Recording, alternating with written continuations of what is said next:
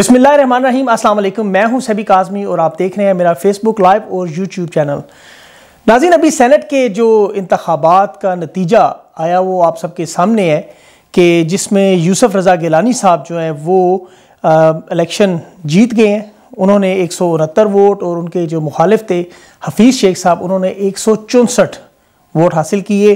सात वोट उसमें मुस्तरद हुए, जिसमें से पाँच वोटों के बारे में बड़ी कन्फ्यूज़न है। लेकिन इसमें अभी पीपल्स पार्टी के एक रहनमा नवीद कमर साहब का ये दावा है कि वज़ी अजम इमरान खान साहब का वोट भी मुस्तरद हुआ। हालाँकि इस बात को मानने में काफ़ी आ रहा है, उसमें मैं बताता हूँ क्यों। लेकिन शहरियार अफरीदी साहब और जरताज गुल, इन दोनों के वोट मुस्तरद हुए और ये उन मुस्तरद वोटों में शामिल हैं जिनकी वजह से एक बहुत बड़ा मेजर इम्पैक्ट पड़ सकता था। यहीं इस्लामाबाद में दूसरी नशस्त पर जो फौजिया अरशद साहिबा थी, उन्होंने एक सौ चौहत्तर वोट हासिल किए। अब आप ये देखें कि एक सौ चौहत्तर वोट इनकी और एक सौ चौंसठ वोट जो हफीज़ शेख साहब को पड़े, उसमें 10 वोटों का बहुत बड़ा मार्जिन है, बहुत बड़ा फ़र्क है। ये लोग बहुत तवातर से ये बात करें कि जी बड़ा, ये अपसेट हुआ है। हालाँकि अब ये अपसेट कहा जा रहा है? और कल और परसों अगर आप इनके बयान देखें तो ये बार बार इस बात को दोहरा रहे थे कि जी बड़ा नेक टू नेक और हम यकीनी जीत की तरफ़ है। तो इसलिए इसे अपसेट कहना मेरे ख्याल में मुनासिब नहीं, क्योंकि अगर ये बड़ा नेक टू नेक मुकाबला था, क्योंकि एक तरफ़ यूसफ रजा गिलानी साहब थे, जो कि एक पुराने सियासतदान हैं वजी अजम भी रह चुके हैं, दूसरी तरफ़ हफीज़ शेख थे, जो कि मुख्तलिफ़ पार्टियों से होते हुए इवन पीपल्स पार्टी के भी वो वज़ीर ख़जाना रह चुके हैं, और अब वो इलेक्शन लड़ रहे थे, और एक इंतहाई गैर मकबूल शख्सियत पार्टी में थी। उस पर भी हम थोड़ी सी बात करते हैं कि क्या है। लेकिन अगर हम इस इलेक्शन को ओवरऑल देखें तो यूसफ रजा गिलानी साहब की जो जीत है इस्लामाबाद की सीट इसे ऐसे डिक्लेयर किया जा रहा है कि जैसे ये कोई बहुत बड़ी अनहोनी बात होगी। इसमें कोई शक नहीं कि पाकिस्तान तरीके इंसाफ के लिए एक सेट पैक है कि उनके लिए एक एक बड़ी जो है वो आ, सीट हारे हैं इस्लामाबाद से लेकिन ये सिर्फ़ एक सीट है। दूसरी तरफ़ अगर आप देखें तो के पी के में उनका पूरे का पूरा पैनल जीत गया। तमाम के तमाम अफराद जीत गए। इसी तरह पाकिस्तान भर से जो मुख्तलिफ़ खबरें आएँगी और टोटल रिज़ल्ट जब इकट्ठे होंगे तो उस वक्त मजमू तौर पर जो कैफियत नज़र आएगी, वो तो ज़ाहिर है नज़र आएगी, लेकिन इस एक जीत को इतना ज़्यादा सेलिब्रेट किया जा रहा है तो इसलिए इस पर प्रोग्राम करना बड़ा ज़रूरी है। दो इंपॉर्टेंट चीज़ें नाजरीन जो मैंने असेसमेंट की है, इस पूरी सियासत में, इस पूरी कल की वीडियो आने के बाद, और फिर मरियम साहबा का पिछला बयान के जो चीफ इलेक्शन कमिश्नर की बस वीडियो है, उनकी बेसिस पर दो चीज़ें, एक रवैया और एक रुपया। इसमें जो हफीज़ शेख साहब का रवैया है, ये इनका बाकी पार्लियामेंटेरियंस के साथ जो इनकी अपनी टीम के लोग थे, वो कुछ बेहतर नहीं था। इनके बारे में बहुत से ऐसे लोग थे कि जिन्होंने ये शिकायत की हुई थी प्राइम मिनिस्टर से भी कि इनका रवैया उनके साथ बेहतर नहीं है। और दूसरा आपको पता है रुपया। रुपये की अगर बात करें तो कल से, बल्कि कल से नहीं, मैं तो कहूँ दो हफ्तों से अगर आप इसकी बैंकिंग ट्रांजैक्शन सिर्फ़ देखें पाकिस्तान में तो शायद आपको पाँच हज़ार का नोट बैंकों से मिलना नामुमकिन होगा। आप पता करें बैंक्स में जो आपके दोस्त काम करते हैं कि क्या बैंकों में पाँच हज़ार का नोट मौजूद था। इसी तरह जिन लोगों के फॉरेन करेंसी अकाउंट्स हैं, उनसे पूछें डॉलर्स, अमेरिकन डॉलर्स मिलना या उनसे अगर आप अपने अकाउंट से निकलवाना चाहें तो बैंक आपको नहीं दे रहे थे। उसकी वजह यह थी कि लोग इतनी बड़ी तादाद में ये पैसे निकलवा रहे थे। इसलिए अगर ये कहा जाए कि सेनेट की एक बहुत बड़ी मंडी लगी इतनी बड़ी मंडी कि जो जितने भी पाकिस्तान के एमपीएस या एम हैं, आपको पता है इनका एक मिनिमम जो एम एन है, उसका तीन करोड़ रुपया कम अज़ कम खर्च होता है, कम अज़ कम। ज़्यादा की कोई लिमिट नहीं है। तो ये उनके पास मौका होता है, ये अपने पैसे पूरे करने का, और यही उनके पास चांस होता है अर्निंग करने का। दूसरी तरफ़ कुछ नाराज़ लोग, जैसे डॉक्टर आमिर लियाकत थे, उन्होंने बारह, और उनके साथ कुछ और लोग भी पाकिस्तान तरीके इंसाफ के जिन्होंने बारह ये बात कही थी कि वो हफीज़ शेख साहब को वोट नहीं देंगे। उन्होंने ये बात बारहा की थी। इसीलिए आमिर लियाकत से तो अभी वजी अजम इमरान खान साहब की मुलाकात भी हुई थी कि जिसमें उनसे डिस्कशन हुई। तो उसके बाद भी उन्होंने कहा कि मैं वोट जो है, इनमें से किसी एक अच्छे शख्स को दूँगा। हफीज़ शेख साहब का नाम उन्होंने यहाँ भी नहीं लिया था। अब आप ये देखें कि वज़ी ख़जाना हफीज़ शेख साहब थे। और ये इनका आईएमएफ की वजह से भी, इनका एक तासर जो था वो बिल्ट हुआ हुआ था कि ये जी बाहर के बंदे हैं। इनकी पाकिस्तान में प्रॉपर्टी भी नहीं है, इनके बच्चे भी पाकिस्तान में नहीं है, ये पाकिस्तान में कोई काम भी नहीं करते। इनका कोई, जो इमरान खान का जितना भी नज़रिया था, ये उसके बिल्कुल बरक्स थे। जो तरीके इंसाफ के बहुत से लोग, और ये मेरे ख्याल में इनका हफीज़ शेख साहब का हारना पाकिस्तान तरीके इंसाफ के लिए बहुत अच्छा अमल हुआ। इसकी वजह यह है कि इलेक्टेड और नॉन इलेक्टेड लोगों के दरमियान एक बड़ा वाज जो फ़र्क है वो अब खुलकर सामने आ जाएगा। इस तरह बाकी जो भी नॉन इलेक्टेड लोग हैं, उनके लिए भी अब ख़तरात जो हैं वो बढ़ जाएँगे। प्रेशर इमरान खान साहब पर भी बढ़ेगा कि इन लोगों को बिलाशुबा उनकी राय में वो लोग ठीक हों, लेकिन उनके ऊपर प्रेशर बढ़ेगा कि इलेक्टेड और नॉन इलेक्टेड लोगों में फ़र्क देखें, वरना कुछ लोग जो है वो अपनी जाके राय जो है वो इसका इजहार इस तरह भी कर सकते हैं। अभी आप ये देखें, पाकिस्तान के इलेक्शन की अगर आप तफसील में देखें तो वसीम अख्तर साहब कराची में मेयर बने, उस वक्त वो जेल में थे। मरहुमा बेगम कुलसूम नवाज़ साहिबा, वो लंदन में जेर इलाज थी और उसके बावजूद एम एन ए बन गई। तो पाकिस्तान की सियासत का एक अपना अंदाज़ है। आपको पता है यहाँ पर एक, जैसे मैंने कहा, या रवैया अच्छा हो, आपका आप सियासी लोगों से मिलते जुलते हों, हर एक से झुक कर मिलें, उनके पास जाएँ, उनकी बातें सुने, अपने मेम्बरान की उनको टाइम दें तो शायद वो लोग आपके नज़दीक ज़्यादा आते हैं। इमरान खान साहब का भी रवैया जो है, वो आपको पता है, इतना घुलने मिलने वाला नहीं है। वो भी अपनी बाउंड्रीज जो बरकरार रखते हैं। और उनका एक नज़रिया, एक असूल है। जबकि दूसरे जो लोग हैं, वो आपने देखे होंगे किस तरह झुक झुक कर मिलते हैं, सियासी अंदाज, आपको जनाजे, फोतगियाँ, ये सारी चीज़ें आपको अटेंड करनी पड़ती हैं। तो वो रवैया बड़ा मानी रखता है और दूसरा रुपया। अट्ठाईस करोड़ रुपया जो है वो एक एम की जो है कीमत लगाई गई थी। तो आप ये देखें कि बहुत से ऐसे M P As M N As ऐसे मौजूद हैं कि जिनके लिए एक बहुत बड़ी रकम है, अट्ठाईस करोड़ रुपया। तो ढाई साल बाद अगर हुकूमत बदलती है और उन्हें टिकट का नया वादा भी किया जाता है और साथ अट्ठाईस करोड़ रुपया भी दिया जाए तो मेरे ख्याल में पाकिस्तान में ये कोई अनहोनी बात नहीं कि कोई अपनी वफादारी बदल ले, क्योंकि ये हमारे माशरे में एक ये तासर मौजूद है और ये सदा रहेगा, इसे हम कभी भी जटला नहीं सकते, हकीकत है। लेकिन अगर आप इन इलेक्शन के नतज को थोड़ी देर के लिए बदल कर देखें, आप सिर्फ़ ये देखें कि अगर इस वक्त हफीज़ शेख जीत चुके होते और यूसुफ रजा गिलानी हार गए होते तो क्या होता?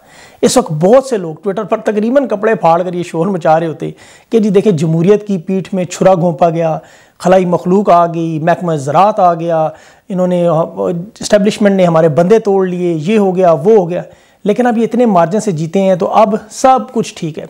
तो ये चीज़, ये एक तासर जो है कि जहाँ पर आप जीत जाएँ, जहाँ पर आप वहाँ पर इलेक्शन फेयर होता है, लेकिन जहाँ पर अब हार जाएँ, वहाँ पर सारा इलेक्शन ख़राब। डस्का में देख लें आप कि डस्का में अब क्या हुआ? कमिश्नर फारिग कर दिए गए आई जी साहब फारिग कर दिए गए। रात को तीन बजे, चार बजे तक इन लोगों को कहा गया था कि आप जाग कर इन इलेक्शन की मॉनिटरिंग करें। और उसके बाद धुंध का नाम लगा दिया गया, कभी महकमा ज़रात का नाम लगा दिया गया। मतलब मुख्तलिफ़ तरह की इन लोगों ने हर तावील पेश की कि जी हमारे वोट चोरी हुए हैं। तो अब अगर देखा जाए आपके जीतने में इन दोनों अगर फौजिया अरशद साहिबा का और हफीज़ शेख का तनाजर देखें तो सिर्फ़ दस वोटों का फ़र्क पड़ता है। ये दस वोट फिर इन्हें कैसे मिले? इसका मतलब पाकिस्तान तरीके, इंसाफ के कुछ लोग इन्होंने चुराए तो फिर वोट चोरी इन्होंने की है या वोट चोरी हुकूमत ने की है? अब ये भी एक बहुत बड़ा सवाल है। अब इससे एक और बड़ी इंपॉर्टेंट चीज़ जो मैं इस इलेक्शन में देख रहा था कि एक पुराना निज़ाम और एक नया निज़ाम, ये जो झगड़ा चल रहा था ये सिर्फ़ पुराने निज़ाम और नए निज़ाम। या आप कह लें पुराना पाकिस्तान या नया पाकिस्तान। पुराने पाकिस्तान में आपको याद होगा, हम बचपन से ये सुनते आए किस तरह छंगा मांगा में इन M N As M P S को बंद किया जाता था। इनकी मंडियाँ प्रॉपर लगती थी हॉर्स ट्रेडिंग होती थी फ्लोर क्रॉसिंग होती थी। किस अंदाज में पार्टी के अंदर वफादारियाँ बदली जाती थी? और उसका सबूत अभी तक हमने दो हज़ार इक्कीस में, कल रात तक हमने ये देखा कि किस तरह अली मूसा गेलानी चार लोगों को किस तरह नंबर 11, 23, 60 और सैंतालीस के नंबर बता रहे थे कि किस तरह आप अपना वोट ज़ाया करना है। तो अब जो मुस्तरद वोट हुए हैं अगर इनको निकाला जाए और देखा जाए तो हो सकता है उन चारों लोगों के वोट इसमें शामिल हों। तो ये चीज़ भी बड़ी इंपॉर्टेंट है कि किस तरह अली मूसा गेलानी अब ये कोई आम बंदा कर रहा होता तो शायद आप उसे बेनिफिट ऑफ़ डाउट दे के उन्हें सजा दे के उन्हें आप अंदर लेकिन अली मूसा गेलानी इस वक्त विनिंग कैंडिडेट जो यूसर रजा गिलानी उनके साहबजादे हैं। और यूसफ रजा गिलानी को चेयरमैन सेनेट बनाने की बात हो रही है। अब चेयरमैन सेनेट के बेटे के बारे में इतना बड़ा इल्ज़ाम और वो अगले दिन उसको मान भी रहे हैं कि मैं उनको बता रहा था कि आप अपना वोट ज़ाया करें। तो ये एक बहुत बड़ी जो है पाकिस्तान में सवालिया निशान इंतबात के ऊपर हमेशा की तरह। इलेक्शन कमीशन जो है वो डस्का में तो जागा था। आपको पता है उन्होंने वहाँ पर बड़े प्रॉम्प्ट एक्शन किए, लेकिन यहाँ पर इलेक्शन कमीशन का पी टी आई ने हुकूमत में होने के बावजूद जो अपनी दरख्वास्त थी, उस पर कोई किसी किस्म की सुनवाई नहीं हुई। तो अब ज़ाहिर ये अपना मौका बनाकर कल कुछ करेंगे, कुछ लड़ेंगे उसके बारे में, ये अपना बताएँगे। अब सबसे इंपॉर्टेंट चीज़ इस्टेब्लिशमेंट का जो रोल है, बहुत से लोग इस्टेब्लिशमेंट के रोल से ये समझते हैं कि शायद इस्टेब्लिशमेंट के लोग इन एम या एम को जाकर ज़बरदस्ती कहते हैं कि आप उसको वोट दें। इस्टेब्लिशमेंट का जो रोल पाकिस्तान के इलेक्शंस में ख़ास तौर पर सेनेट के इलेक्शन में, इस तरह के इलेक्शंस में जो माजी में था, वो हमेशा ये था कि वो उन्हें हॉर्स ट्रेडिंग नहीं करने देते थे। वो आम तौर पर जिस तरह मेम्बरान एक वफादारियाँ बदलते हैं, आपको पता है कि हमारी जो इस्टेब्लिशमेंट उनके पास ज़राए मौजूद है बहुत से।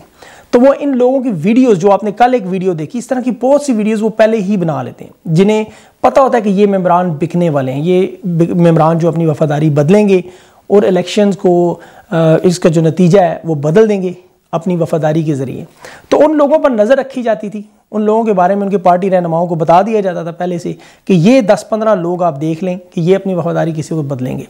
तो इसे आप रिगिंग नहीं कह सकते, इसे फेयर नहीं कह सकते। इस्टेब्लिशमेंट इस हद तक अपना रोल ज़रूर अदा करती रही। लेकिन इस्टेब्लिशमेंट का ये रोल कि जाके किसी को कहना कि आप वोट इस पार्टी को दें और इस पार्टी को ना दें मेरा नहीं ख्याल कि वो इन इलेक्शनों में 2018 की या इस इलेक्शन में या इससे पहले भी 2013 में भी किसी हद तक जो इंडिविजुअल जो एक्शंस हैं, वो ज़रूर अपने अपने ज़ाती हैसियत में किसी ने किया हो तो उसका वो कह नहीं सकते। लेकिन आप ये देखें कि अभी इस्टेब्लिशमेंट के रोल के बारे में किसी ने एक बात भी नहीं की। इसका मतलब तो ये है कि अगर अपोजिशन जीत जाए अपोजिशन तमाम की तमाम सीटें जीत जाए तो उन्हें इस्टेब्लिशमेंट बेहतरीन लगेगी, जमहूरियत ख़तरे में नहीं लगेगी। तो क्या फिर ये हम ये समझें कि इन्हें सिर्फ़ जीती हुई टीम को ही हमेशा ये सहारा मिलेगा कि इस्टेब्लिशमेंट हमारे साथ जो है फेयर गेम कर रही है। अब जो एक और इंपॉर्टेंट बात वो इस वक्त आ रही है, वो है तहरीक अदम अतमाद के बारे में। जो जिसे कहते हैं vote of no confidence Imran Khan साहब को कहा जा रहा है कि आप इस्तीफ़ा दें। बिलावल भुट्टो ने अभी स्पीच में कहा भी कि आप इस्तीफ़ा दें और आप घर चले जाएँ। हालाँकि इससे पहले वो बारहा कह चुके कि जमहूरियत को चलने के लिए पाँच साल बड़े इंपॉर्टेंट होते हैं। हर हुकूमत को रेगुलराइज लेकिन अब वो पी डी एम के प्लेटफॉर्म की तरफ़ जा रहे हैं और इस्तीफ़े के लिए वो प्रेशर डालने की कोशिश करेंगे। तरीके में अतमाद जो है वो बड़ी इंपॉर्टेंट चीज़ है। आप सबसे पहले तो ये देखें कि हफीज़ शेख की जो शिकस्त है वो एक हादसाती शिकस्त है। इसे आप पाकिस्तान तरीक इंसाफ की या इमरान खान की शिकस्त इस तरह नहीं मान सकते कि हफीज़ शेख से इंतहाई कमज़ोर कैंडिडेट थी। मतलब जिनका बैकग्राउंड नहीं था, जिनका कोई सियासी करियर नहीं था, वो एक टेक्नोक्रेट के तौर पर हमेशा से लाए गए हर हुकूमत में काम करते रहे। तो ऐसे शख्स का जीतना बड़ा मुश्किल था, लेकिन फिर भी इसके ऊपर कोशिश ज़रूर की। इसमें कोई शक नहीं, पाकिस्तान तरीके इंसाफ ने, खुद इमरान खान साहब ने भी कोशिश की, इनको जिताने की। ज़ाहिर है क्योंकि वो वज़ी ख़जाना है एक इंपॉर्टेंट मनसब पर बैठे हुए हैं और वो नहीं चाहते कि अब इनके जाने से जो अब मसला बनेगा, उनके हटने से जो नया वज़ी ख़जाना कौन होगा, ये भी इंपॉर्टेंट क्वेश्चन है। तो उस पर सारी बात होगी। लेकिन तरीके अदम अतमाद के लिए हमेशा ओपन बैलेटिंग होती है, जिसमें तमाम अरकान जो है वो सामने नज़र आके सामने वोट डालते हैं। तो मेरा नहीं ख्याल कि अभी एक सौ चौहत्तर की एक बड़ी मेजोरिटी जिस तरह फौजिया अरशद को वोट पड़े तो ये वो लोग होंगे जो सामने आकर शायद जाके वोट दे दें किसी और को तरीके अदम अतमाद पेश हो। तो इसलिए लेकिन इमरान खान साहब को चाहिए कि अब इस चीज़ पे गौर करें। एक तो मेरे ख्याल में उनको अपना जो कम्युनिकेशन है, वो अपने अरकान से ज़्यादा से ज़्यादा बढ़ानी पड़ेगी। जिस तरह उन्होंने खैबर पख्तूनख्वा में काम किया और पूरे का पूरा पैनल जीत गया, सारे का सारा पैनल जीत गया उसका। तो देखिए, ज़्यादा वोट भी पड़े उनको। इसलिए कि वो वीडियो आई, इमरान खान साहब ने एक्शन लिया, वो गंदे अंडे जो थे 20-25 लोग निकाले अपनी पार्टी से। इसी तरह इन्हें अपनी पार्टी में लोगों को देखना होगा। कईयों के कुछ शायद जायज़ गिले शिकवे भी हों। उन गिले शिकवों को दूर करना पड़ेगा। और जैसे शहरियार अफरीदी का अब ये गलती से भी वोट उसका ख़राब हो सकता है, इसमें कोई शक नहीं।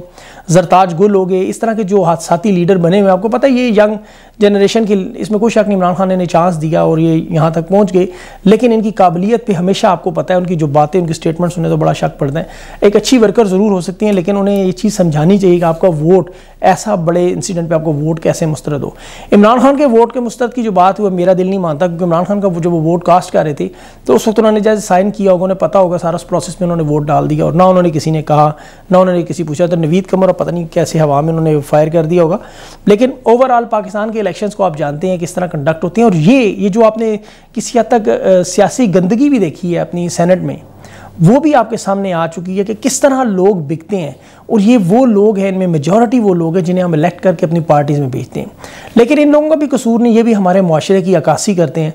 जिस तरह हम अपने माशरे में छोटे छोटे छोटे छोटे किस्म के जो मसाइल हैं, जैसे दूध में पानी मिलाने से लेकर मिलावट करने तक हर काम उल्टा सीधा होता है। इसी तरह ये लोग भी हमारी नुमाइंदगी करते हैं। हम में से ये लोग हैं, ये सारे पाकिस्तानी है, बाहर से तो कोई आया नहीं। तो इसलिए इन लोगों ने हमारी जो रिप्रेजेंटेशन करते हैं इनकी भी आपके सामने आ, सारी सिचुएशन आ गई है। लेकिन आने वाले दिनों में कुछ इंपॉर्टेंट चीज़ें होंगी हुकूमत के लिए। एक तो तरीके अदम अतमाद अगर आती है तो उसके तोड़ के लिए इन्हें अपनी तैयारी करनी होगी। इमरान खान साहब को अपनी सफ़ों में ये जो गंदे अंडे हैं वो निकालने पड़ेंगे। उन अरकान जिनके गिले शिकवे जायज़ हैं उन्हें दुरुस्त करना होगा। अपनी सिमत थोड़ी बेहतर करनी होगी। ग्राउंड लेवल पर ये ढाई साल से आपको पता है एक बड़ा गैप एम एन एस के दरमियान हो जाता है। और पाकिस्तान में तो आप, आपको पता है, आप किसी को अगर कोई आपको सलाम करे, आप उसका जवाब ना दें तो वो लोग आपसे शादी ब्याह, शादी मर्ग छोड़ देते हैं आपकी। तो ये तो आपको पता है किसी एम एन ए को अगर आप ना बुलाएँ टाइम ना दें तो फिर वो ज़ाहिर है वो फिर इस दिन आके अपना बदला जो है वो आपसे निकालते हैं, दिलों में गिरज रखते हैं। राज़ी भी बड़ी जल्दी हो जाते हैं, नाराज़ भी बड़ी जल्दी हो जाते हैं। तो इसलिए इन चीज़ों को ठीक करना बड़ा ज़रूरी है।